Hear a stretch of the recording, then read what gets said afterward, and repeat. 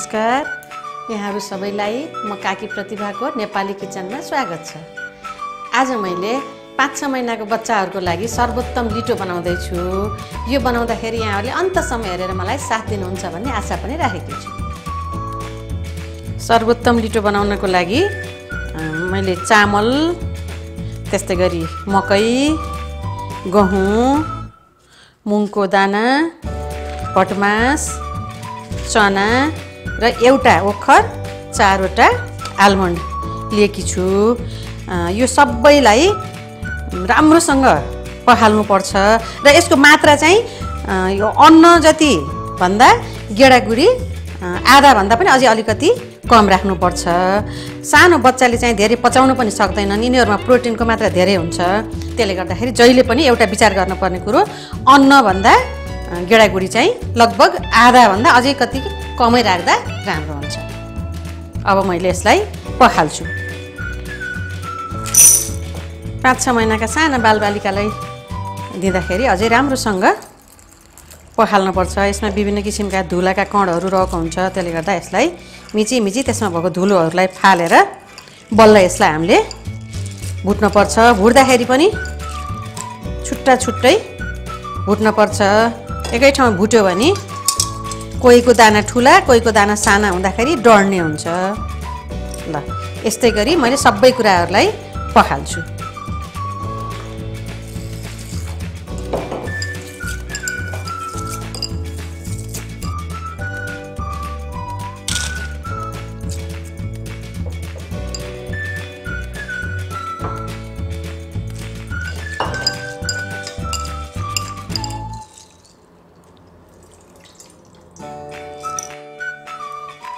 अब मैले यी सबै गेडागुडी चामल मकै भुट्नको लागि कराई ता तताउन बसालेकी छु।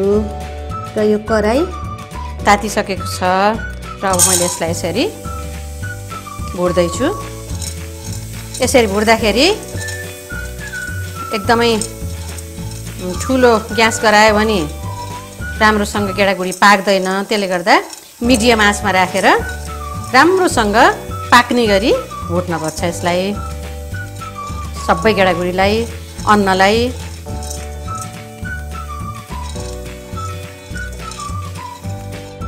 मैले यसपालि लिटो बनाउँदाखेरि नमुनाको लागि मात्रै थोरै बनाएकी छु। यहाँहरूले बच्चालाई खुवाउनको लागि बनाउँदाखेरि लगभग एक दुई महिनालाई पुग्ने हिसाबले यो अन्नहरूको क्वान्टिटी बढाएर बनाउनु भयो भने सजिलो हुन्छ।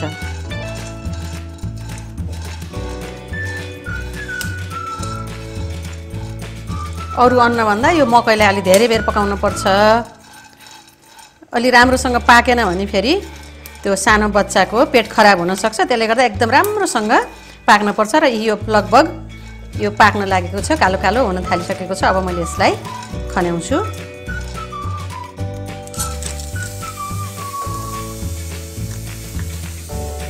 मकै जस्तै गरी मैले गहुँलाई पनि उसै गरी भुट्दैछु र यसलाई पनि त्यस्तै गरी मिडियम आँचमा राम्रोसँग पाक्ने गरी नै भुट्नुपर्छ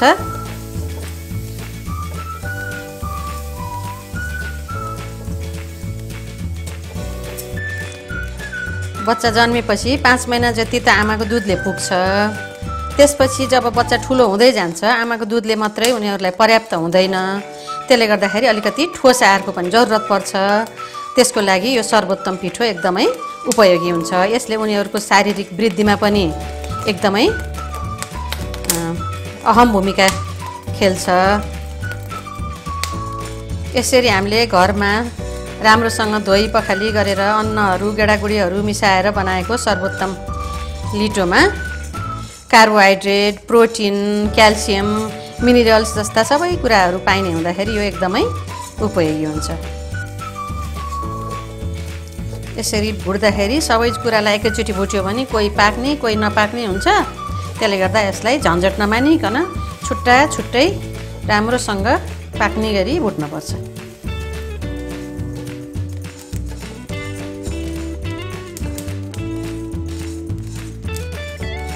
चामल पनि लगभग भुटिसकेको छ यतिको रातो रातो बनाउनुपर्छ।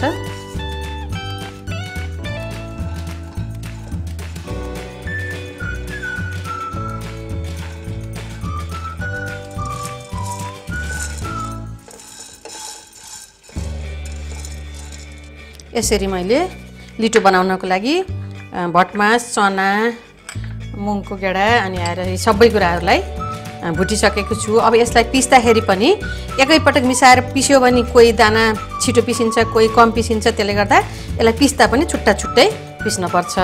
अब मैले यसरी पिस्न सुरु गरेँ है त्यही पिस्दाखेरि अलिक मसिनो गराउनुपर्छ बच्चाले खाने हुँदा।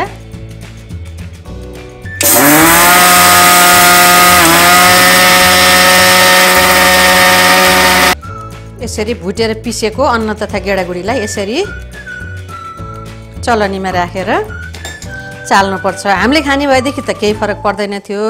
बच्चाले खाने हुँदाखेरि उनीहरूले खस्रो भयो भने खान सक्दैनन्। त्यसले गर्दा यसरी चालेर मसिनो गराएर मात्रै यसलाई हामीले डब्बामा राख्नुपर्छ। यसरी मैले सबै पिसेर सकाइसकेपछि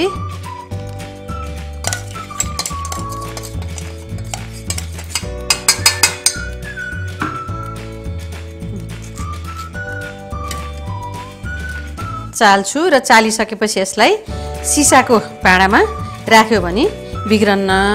र बच्चालाई एक दुई महिनासम्म मजाले आफूले जति खुवाउन मन लाग्छ त्यति खुवाउन पाइन्छ र यो एकदमै पोसिलो हुन्छ।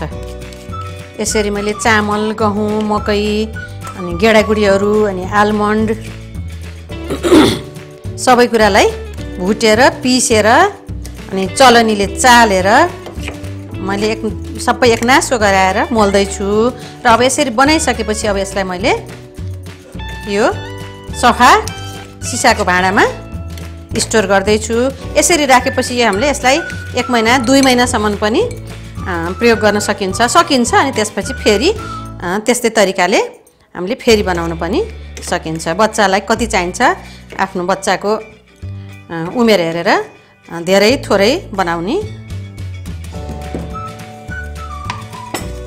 यसरी थोरै पानीमा र यसरी उम्लिसकेको पानीलाई हल्का सेलाउन दिएर त्यसमा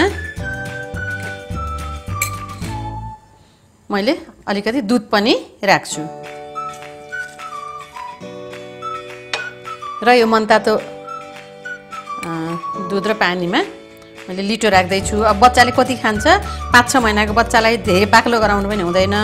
त्यसले गर्दाखेरि लगभग एक चम्चा र आधा राखेर मैले यसलाई एकछिन चलाउँछु। चलाइसकेपछि यसमा डल्ला पर्न हुन्न। डल्ला पऱ्यो भने बच्चाले खान सक्दैनन्। त्यसले गर्दा लगभग यो डल्ला अब फुट्यो भनेपछि बल्ल यसलाई आगो ठुलो गराएर एकछिनसम्म पकाउनुपर्छ र यसरी सबै एउटा पनि डल्ला नरहेर राम्रोसँग फेटिसकेको छ। अब यसलाई मैले अब ठुलो ग्यास गराएर एकछिनसम्म पकाउँछु। र यो बनाउँदाखेरि सुरुमा सानो बच्चालाई अलि थोरै अनि अलि पातलो गराएर खुवाउनु पर्छ र अलि उमेर बढ्दै गएपछि अलिकति बाक्लो लिटो पनि खान सक्छन् र यसको क्वान्टिटी पनि बढाउँदै जानुपर्छ। यो एकदमै बच्चाको लागि उनीहरूलाई बढ्नलाई यसले मद्दत गर्छ। यसरी अब यो लिटो एकछिनसम्म पाक्न दिनुपर्छ र लर्र हुन्छ।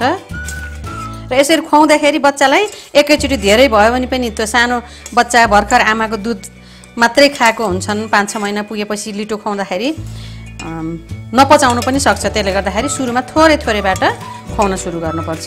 त्यसले गर्दा सुरुमा थोरै अनि बिस्तारै यसको क्वान्टिटी बढाउँदै लैजानुपर्छ। यसरी अब यो पाकेर रेडी हुन लागिसकेको छ। अब बच्चाले कतिको खान सक्छ? योभन्दा धेरै बाक्लो सायद खान सक्दैनन् होला पाँच छ महिनाको बच्चाले। त्यसले गर्दाखेरि मैले यत्तिकै बनाउँछु। यसलाई राम्रोसँग पाक्न चाहिँ पर्छ।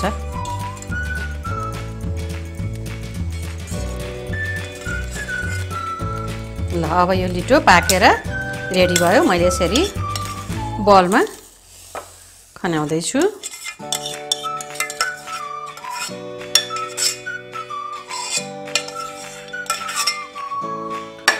सुरु सुरुमा भर्खरै उनीहरूलाई चाहिँ लिटोको बानी पार्दाखेरि योभन्दा बाक्लो भयो भने उनीहरूलाई निल्न गाह्रो हुन्छ। त्यसले गर्दाखेरि सुरुमा यस्तै खालको बनाएर खुवाउनुपर्छ लिटो खुवाउँदाखेरि।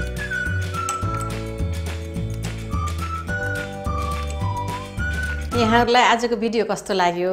यदि मन पर्यो भने लाइक सेयर कमेन्ट गर्नुहोला। साथै यदि मेरो च्यानललाई सब्सक्राइब गर्नुभएको छैन भने सब्सक्राइब गरेर सहयोग गर्न पनि अनुरोध गर्दछु।